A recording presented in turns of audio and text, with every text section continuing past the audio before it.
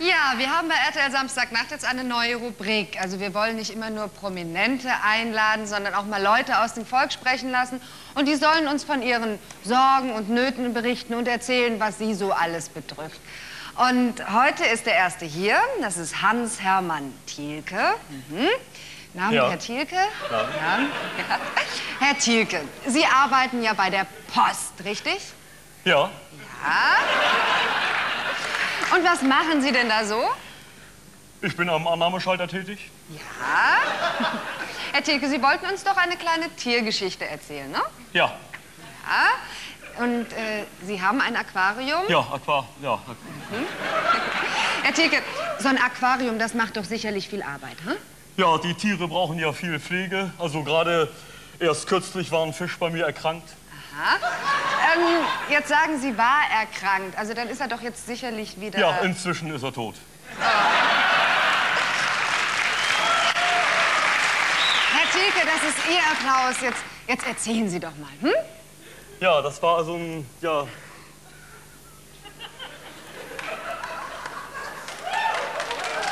Ja.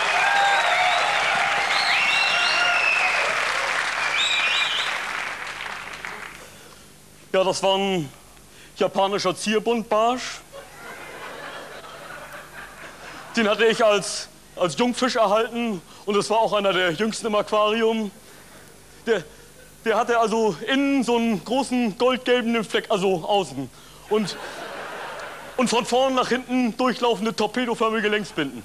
Der, der, sah, der sah so ein bisschen aus wie ein Hund von vorn. Also sah, sah, sah von vorn aus wie ein Hund, von hinten. Also ein ganz hübsches Tier eigentlich. Und, und also schwimmen konnte der, also der war bestimmt nicht wasserscheu. Der schwamm, der schwamm also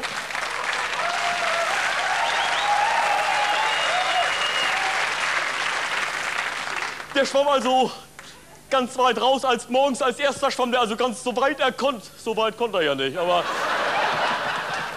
so im Rahmen seiner Möglichkeiten.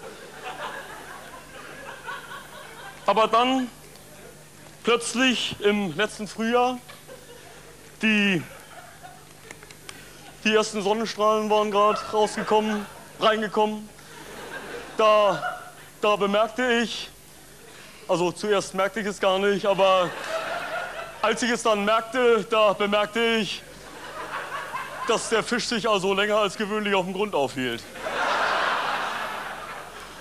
Der lag also teilweise tagelang nur noch auf dem Grund rum.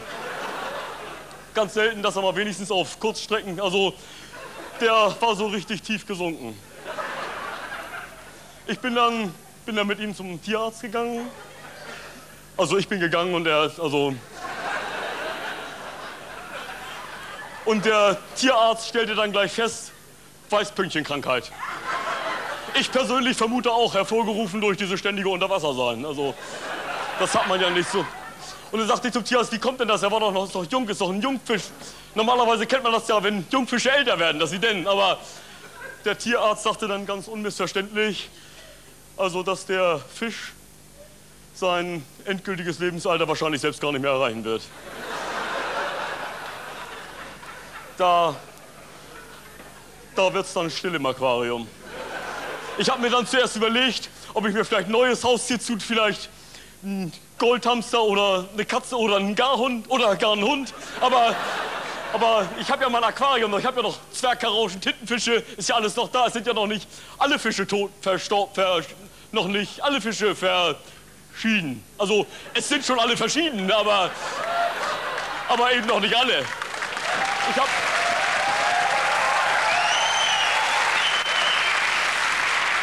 Ich habe ich hab jetzt auch kürzlich einen Artikel in der Postfachzeitschrift gelesen von einem Mitglied des Verbandes esoterisch orientierter Postbeamter. Also, dass, dass ja in der indischen Religion durchaus die Möglichkeit der Wiedergeburt besteht. Das heißt also, dass die Tiere nach dem Tod, also wenn sie nicht, also dass ein Teil des Tieres lebt weiter, man weiß noch gar nicht genau welcher, und verwandelt sich dann in ein anderes Tier hinein. Das kann also bei meinem Fisch, der kann durchaus ein anderer Fisch, der muss auch nicht ein Fisch, der kann auch auf dem Boden, der kann ein Kaninchen, der, der kann sich bis zum Bussard entwickeln. Und, und da hat er ja ganz andere Möglichkeiten. Er kann, muss auch gar nicht in Deutschland bleiben, er kann um die ganze Welt, der kann bis nach Afrika kommen in Eigenschaft als Löwe. Er kann sogar nach Einhaltung einer gewissen Dauer zum Menschen werden. Auch beruflich. Das heißt also, wenn mein Fisch sich jetzt noch entschließt, zur Post zu gehen, vielleicht werden wir noch Kollegen. Theo.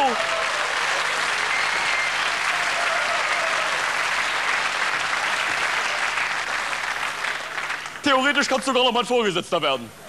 In, in keiner anderen Religion der Welt hat ein Tier, beispielsweise ein Iltis, die Möglichkeit, nach seinem Ableben die gehobene Beamtenlaufbahn einzuschlagen. Beim, beim Menschen ist es ja so, nach dem Tod, also wenn er nicht danach, dass er also dann entweder Mensch bleibt oder auch zum Tier werden kann. Das heißt, wenn jetzt zum Beispiel ein Beamter aus dem mittleren nicht-technischen Postdienst mit etwas Pech nur eine, eine Eidechse wird und daher gezwungen ist, sich überwiegend im Wald aufzuhalten. Ich meine, das ist dann, wozu hat er dann die Ausbildung gemacht? Und ist ja auch, ist ja auch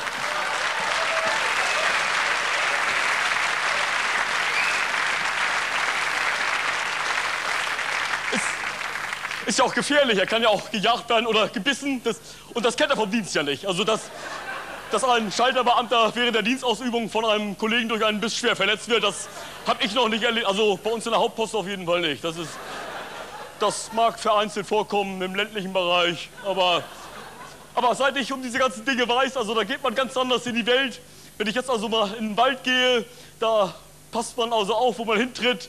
Das kann also wirklich sein, dass es da von ehemaligen Vorgesetzten nur so wimmelt. Danke.